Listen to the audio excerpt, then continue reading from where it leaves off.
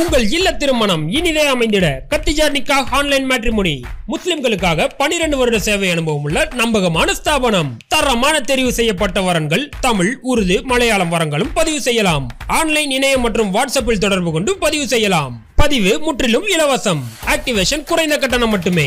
Mobile மற்றும் WhatsApp number nine five double six zero six five double one three W W W dot Khadija Nikah dot com.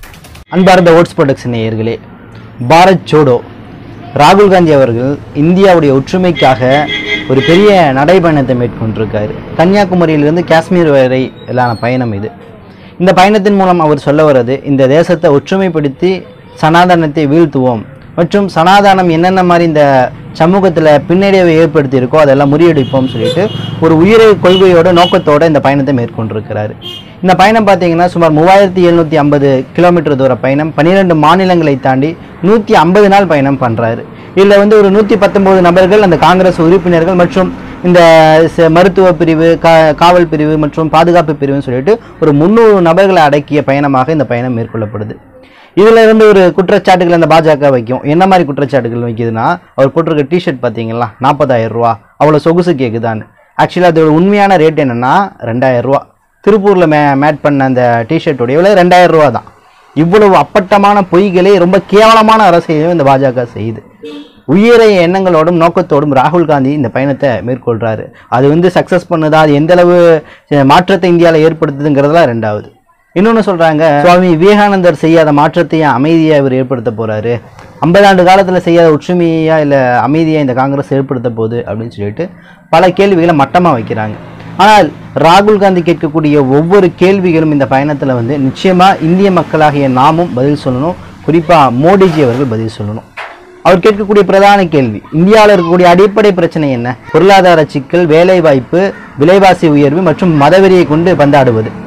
இதில் இந்த வேலைவாய்ப்பு பார்த்தீங்கன்னா அவர் சொல்லக்கூடிய அப்பட்டமான ஒரு பொய் என்னென்னா ரெண்டாயிரத்தி பதினாலில் ஒரு பதவிக்கு வந்த பின்னாடி மோடி சுமார் ரெண்டு கோடி வேலைவாய்ப்புகளை நான் உருவாக்கி தருவேன் அப்படின்னு சொன்னார். இன்றைக்கி வருஷம் என்ன ஆகி போச்சுங்க? அவங்க ஆட்சிக்கு வந்து எட்டு வருஷம் ஆகி போச்சு. அப்படின்னா பதினாறு கோடி வேலைவாய்ப்புகளை உருவாக்கி இருக்கணும் இதே சொன்ன இதே வாய் அக்னிபாத் திட்டத்தின் போது வருஷத்துக்கு பத்து லட்சம் வேலைவாய்ப்புகளை உருவாக்கி தருவேங்குது.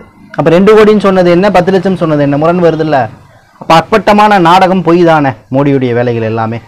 இந்த அக்னிபாத் திட்டத்தின் கீழே அவருடைய செயல்பாடுகளை கேள்வி கேட்குறாரு. நாலு மாதம் நாலு வருஷத்தில் நீங்கள் இந்த வேலை வேலைக்கு போயிட்டு திருப்பி வந்துடுவீங்க நூற்றில் எழுபத்தஞ்சு சதவீதம் உள்ளே போயிடுவாங்க நூற்றில் இருபத்தஞ்சு சதவீதம் உள்ளே போயிடுவாங்க எழுபத்தஞ்சு சதவீதம் வேலை வாய்ப்பு நாலு வருஷத்தை முடிச்சுட்டு வந்தால் ஊரில் அவனுக்கு என்ன மதிப்பு கிடைக்கும்? பீகாரை பொறுத்த வரைக்கும்லாம் அந்த ஆர்மிக்கு மிலிட்ரிக்கு போகிறது அவங்களுக்கு அவ்வளோ பிடிக்கும். அப்படி போகக்கூடிய அவன் திரும்பி வந்தான்னா நாலு வருஷத்துலேயே ஊர் அவனை எப்படி பார்க்கும்? அவனுடைய பொருளாதார சிக்கல் அடிப்படையில் அந்த வேலை வாய்ப்பு எல்லாமே அவன் எப்படி உருவாக்கிக்க முடியும்? இந்த அடிப்படை அறிவு இல்லாமல் திட்டத்தை மேற்கொண்டனால்தான் அந்த மக்கள்லாம் கொந்தளிச்சு போய் ஏன்னா வேலை வாய்ப்பு இல்லை கொந்தளிச்சு போய் முன்னூறுக்கும் மேற்பட்ட ரயில்களை வந்து சேதப்படுத்தினாங்க கலவரங்கள் ஏற்பட்டுச்சு. ராகுல் காந்தியை பற்றி இன்னொரு குற்றச்சாட்டை சொல்லுது. இவர் கேரவன்லாம் போகிறாருல அவ்வளோ சொகுசு கேட்குதா இவருக்கு அப்படிங்கிறாரு. இன்னும் காந்தி காலத்தில் போகிற மாதிரி பாத யாத்திரையில் போயிட்டு கிடைக்கிற இடத்துல படுத்துட்டு வாழக்கூடிய சூ- சூழலா இன்னைக்கு வருது. இன்னைக்கு காலம் மாறி இருக்குது அதுக்கேற்ற மாதிரி சில சுய தேவைகளின் அடிப்படையில் தகவமைச்சு கொள்ளத்தான் செய்யணும். அதே மாதிரி இன்னொரு விஷயம் பாருங்கள் இந்த வேலை வாய்ப்பு விஷயத்தை நான் சொன்னனால இது சொல்கிறேன் இன்னொரு நம்பர் என்ன பண்ணுறாரு எனக்கு வேலை வாய்ப்பு வேண்டும் அதற்காக நான் நடக்கிறேன் அப்படின்னு ஒரு டிஷர்ட்டை போட்டு ராகுல் காந்தி கூட நிற்கிறார் இது ஒரு அடையாளமாக நிற்கிது இதற்கு மோடியும் அமித்ஷாவும் பதில் சொல்லணும்.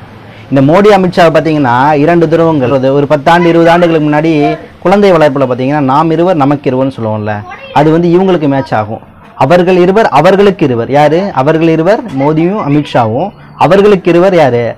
அம்பானியும் அதானியும். இந்த நாலு நபர்கள் தான் இந்தியாவுடைய பொருளாதாரத்தையே சுரண்டி தின்னுட்டு இருக்கக்கூடிய ஒரு நபர்களாக காணப்படுறாரு. இங்கே மோடிக்கு தெம்புடுறேன். இந்த பயணத்தை பற்றி கேள்வி பண்ணுறீங்களே அமித்ஷா அவங்கெல்லாம் கேள்வி பண்ணுறீங்களே மட்டமான அரசியலில் எங்கே நீங்கள் நடந்து காட்டுங்க. ஒரு இருபது கிலோமீட்டர் நடைபயணமாக நடந்து காட்டுங்க. நடந்துட்டா எங்கே கிடைக்குதோ அங்கே படுத்துக்குங்க. இருக்க முடியுமா உங்களால? முடியாதுல்ல. நீங்களே கோடிக்கணக்கான பணத்தில் வந்து பிறல்றீங்க. நீங்கள் போடக்கூடிய ஆடை பல கோடி பல லட்சங்களில் வாழ்ந்துட்டு இருக்கீங்க ஜஸ்ட்டு போட்டு அந்த டிஷர்ட்டை வச்சு உங்களுடைய மட்டமான கேள்விகள் எழுப்பியிருக்கீங்க. அது நாற்பதாயிரரூவான்னு ட்ரெண்ட் பண்ணியிருக்கீங்க. சரி நாற்பதாயிரமா இருக்கட்டுமே. போடுறதுனால என்ன தப்பு இருக்குது என்ன தப்பு இருக்குது அதோடைய ரியல் ரேட்டை கேட்டால் ரெண்டாயிரம் ரூபா தான் அது. அவ்வளோதான் அதோடைய விலையை. ஓகேயா இது மாதிரி மட்டமான அரசியலை பாஜகனால் மட்டும்தான் செய்ய முடியும்.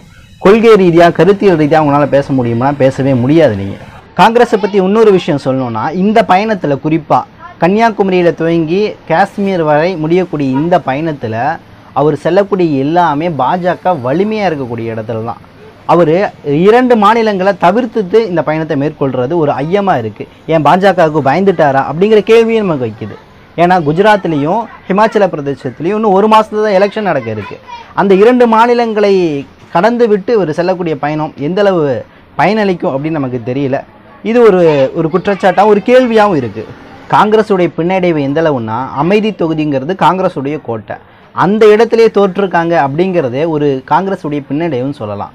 ராகுல் காந்தி அவர்கள் வந்து வயநாட்டில் ஒரு வேளை நிற்காமல் விட்டுருந்தா பார்லிமெண்ட் உள்ளேயே போயிருக்க முடியாது.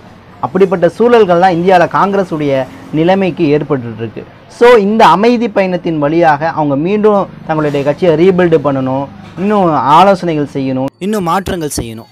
பத்து வருட காலமாக காங்கிரஸ் ஆட்சியில் கிடையாது. சமீபமாக மூன்று மாநிலங்களில் தான் ஆட்சியில் இருக்காங்க. அதுவும் ஒன்று கூட்டணி.